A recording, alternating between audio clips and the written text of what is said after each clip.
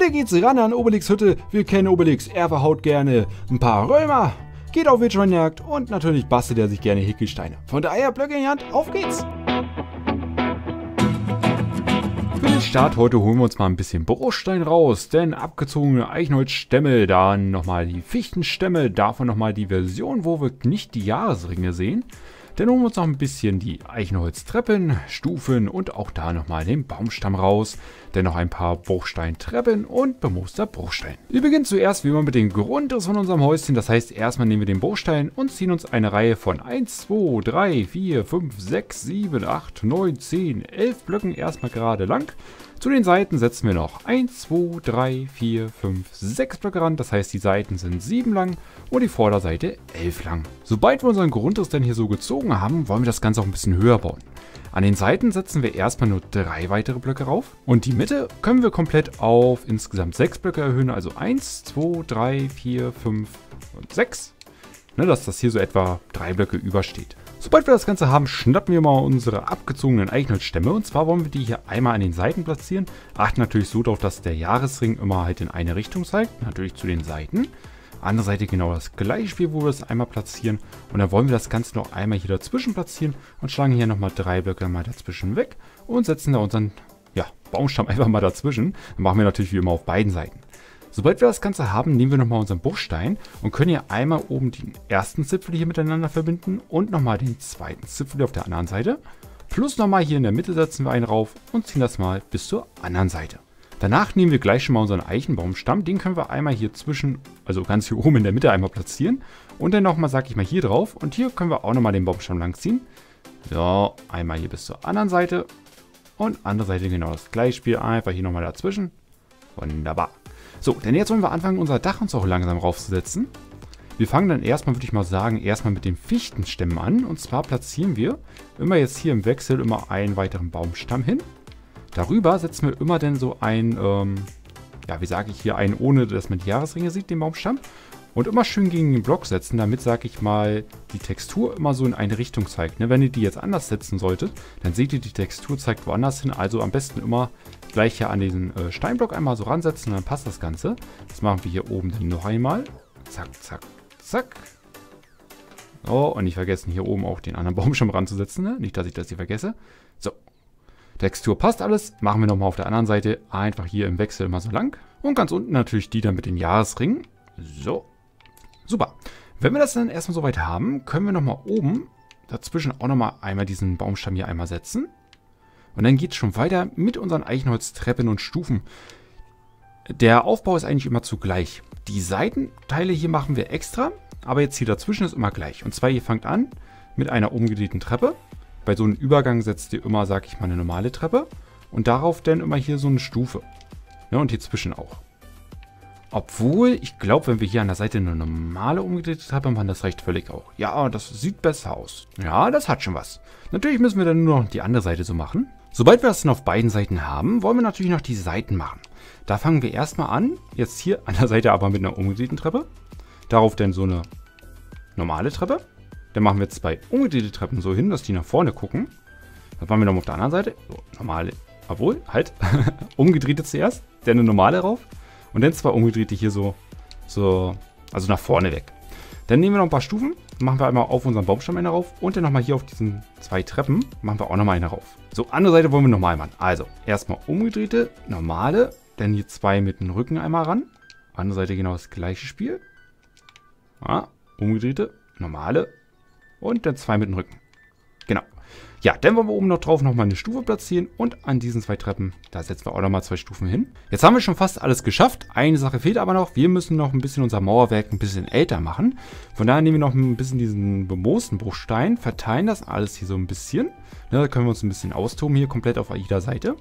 Plus nochmal die Treppen. Das heißt, ihr könnt auch die Treppen hier gerne so ein bisschen halt äh, willkürlich hier noch überall einmal platzieren. Und das machen wir halt auch einmal ringsrum. So, fürs Erste reicht das Ganze. Ne? Wie gesagt, man kann sich noch im Nachhinein noch ein bisschen austoben, wenn wir die Fenster und alles drin haben. Aber jetzt wollen wir noch oben ein bisschen was basteln, und zwar einen Schornstein. Wir nehmen nochmal unseren Bruchstein zur Hand und fliegen mal hier, würde ich mal sagen, wenn wir von vorne gucken, so ein bisschen auf die linke Seite von unserem Dach.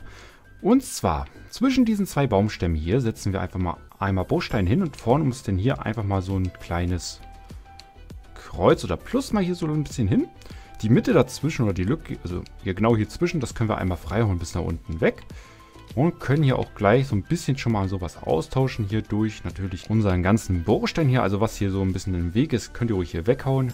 So, außer vielleicht diesen Baumstamm. Der sollte nicht unbedingt weg sein, weil sonst sieht man das zu, also zu draußen halt zu doll. Aber sonst könnt ihr hier alles ein bisschen austauschen. So, jetzt wollen wir das Ganze auf eine Höhe machen von insgesamt drei Blöcke. Wir richten uns immer von diesem Block hier einfach mal aus. Also mache ich mir das Ganze auf drei hoch. Und die anderen ziehe ich mir einfach mal hinterher. So, ganz oben setze ich mir einfach nochmal ein paar Treppen hin. Oh. Und hier unten möchten wir auch noch ein paar Treppen machen, die, sag ich mal, hier so ein bisschen angelehnt sind. Und das machen wir wieder auf beiden Seiten. Wunderbar. Und wenn wir das soweit haben, gehen wir jetzt einmal rein in die gute Stube.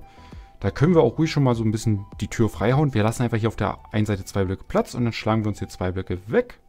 Und auch auf eine Zweierhöhe. Obwohl, nein, wir machen den Durchgang, glaube ich, nur auf eine Einer Breite. Von daher nur zwei Blöcke Platz lassen und ein. Genau, das reicht völlig aus. So, dann wollen wir hier drin auch nochmal, würde ich mal sagen, drei Bruchsteinblöcke uns einmal platzieren und ganz unten dann einfach nochmal zwei umgedrehte Treppen. Und dann sieht man auch die Baumstämme nicht mehr dahinter. Falls du hier jetzt dein Lagerfeuer machst, ne, dann passt das Ganze. Und holen uns noch, um das Ganze abzuschließen, einfach mal ein bisschen Eichenzauntor raus, denn dann noch von die Falltüren. Dann ein paar Schwarzeichenfalltüren, dann holen wir uns noch ein paar Knöpfe davon einfach mal raus. Dann holen wir uns noch ein paar Eichenblätter. Du kannst auch jede andere Blätterart nehmen. Dann noch ein paar Fichtenholztreppen, schwarz Eichenholztreppen und dennoch mal davon die Stufen. Erstmal verbauen wir das Soundtor, das brauchen wir nur einmal und zwar hier natürlich bei unserer Tür, ja, dass wir rein und rauskommen können. Obwohl, wenn wir schon mal drin sind, können wir auch gleich die Decke machen.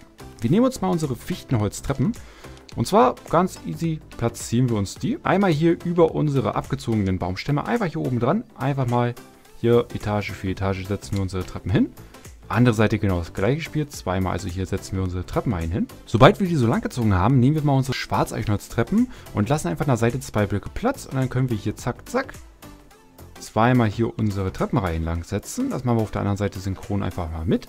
Und da, wo die sich dann, sag ich mal, oben treffen, setzen wir einfach unsere Stufen dazwischen. Und dann haben wir auch schon unsere Decke so ein bisschen gemacht. Man kann natürlich auch noch, würde ich mal sagen, wenn man jetzt hier noch das noch sieht, Entweder machst du, verdeckst du das irgendwie mit ein paar Stufen oder wir tauschen das mal aus durch einen Baumstamm. Da würde ich den ganz normalen Eichenstamm einfach mal nehmen, dass wir den hier oben uns noch einmal so platzieren. Das sieht, glaube ich, ein bisschen besser aus, dass es gehalten wird. Ja, schick. Super. Nun wollen wir natürlich noch unsere ganzen Fenster mal reinhauen. Wir fangen auf der Vorderseite an. Wir lassen auf der einen Seite, würde ich mal sagen, drei Blöcke Platz und dann schlagen wir uns hier einfach mal drei Blöcke weg. So, dann setzen wir unsere Stufen unten wie oben hin.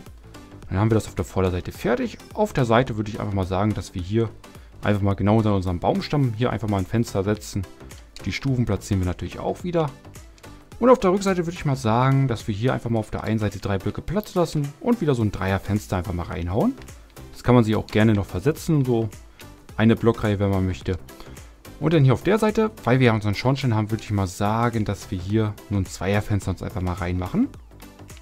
Ja, das reicht völlig aus. Nun kommen wir mal zu unseren Falltüren. Die Eichenfalltüren platzieren wir einmal hier unten bei diesen Baumstämmen. Und die Schwarzeichenfalltüren würde ich einmal fürs Dach verwenden. Und zwar immer jetzt hier bei diesem Übergang, da setzen wir einfach mal diese Schwarzeichenfalltüren hin. Das machen wir natürlich auf beiden Seiten, so dass man den Bruchstein hier nicht mehr sieht. Und dann haben wir noch natürlich die Schwarzeichenholzknöpfe. Die wollen wir einmal hier noch für diese Baumstämme verwenden. Einfach hier überall noch einmal ran. Danach haben wir natürlich noch unsere Blätter. Die können wir noch nehmen, sage ich mal, um hier überall noch so ein bisschen Deko-Blattwerk an den Seiten zu platzieren. Vielleicht nimmst du auch noch ein bisschen Zaun, das sieht dann auch immer nicht schlecht aus. Und dann kannst du die hier vielleicht auch noch so machen, dass sich das hier so ein bisschen lang wuchert, so ringsrum. Jetzt habe ich ja euch vergessen noch zu sagen, dass Oleg so eine kleine Sitzbank hier vorne hat. Ne, dass er sich auch ein bisschen ausruhen kann. Denn er schlägt ja eigentlich den ganzen Tag über seine Hingesteine, wenn er nicht auf Wildschweinjagd ist. Also macht sich eigentlich auch gut, wenn man das Häuschen irgendwo in der Bergregion platziert, da wo ihr genug Stein habt, damit er immer seine Hinkelsteine sich hier basteln kann. Ne, vielleicht auch ein paar Gerüste, damit er auch ein bisschen hochkommt hier. Ja, und sich den besten Stein natürlich hier einmal rauszuhauen. Andernfalls kannst du natürlich noch dein Häuschen hier einrichten von Obelix. Das darf ja nicht einfach so leer bleiben, da muss man ein bisschen was reinbauen. Aber das sind halt so kleine Feinheiten, die man sich natürlich hier noch ein bisschen reinbasteln kann. Ne, vielleicht war er ja gerade auf Wildschweinjagd, da kann man hier noch ein bisschen sich schon ein bisschen was vorbereiten, was er vielleicht heute Abend auf den Grill packen will. Naja, so ein bisschen was kann man ja, sag ich mal, ins Häuschen dekorieren. Ist ja jedem selbst überlassen, wie Obelix bei euch natürlich leben soll. Ich hoffe, du bist immer zufrieden mit der Bauheu. Jetzt musst du natürlich nur noch dein Obelix-Häuschen einrichten, kannst die Hingesteine hauen und vielleicht gehst gleich auf für Römerjagd oder Wildschweinjagd. Ja, ansonsten bedanke ich mich wie immer fürs Zusehen, wünsche dir natürlich viel Spaß beim Nachbauen und dein Haus rein und. Tschüss.